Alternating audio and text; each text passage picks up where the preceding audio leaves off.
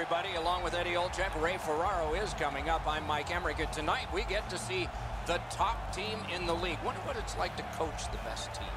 Well, why wouldn't you, Doc? You certainly want to be standing behind that bench, but there are some challenges because you know the opposition is going to bring their best. They know that we're playing really well.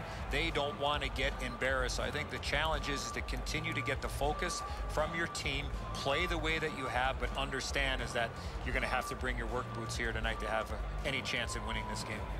New York's coaching staff has prepared them extremely well. Regardless of the situation, they never change. If they're up a goal, down a goal, they stay with their same game plan and adjust accordingly. That's why they're on top of the league standings. Okay, so let's look at the starting goaltenders for the game. Henrik Lundqvist, what credentials? All rookie, first All-Star, Vezina Trophy winner, and for his native Sweden, Olympic gold and Olympic silver. Averages about 35 wins a season. Impressive.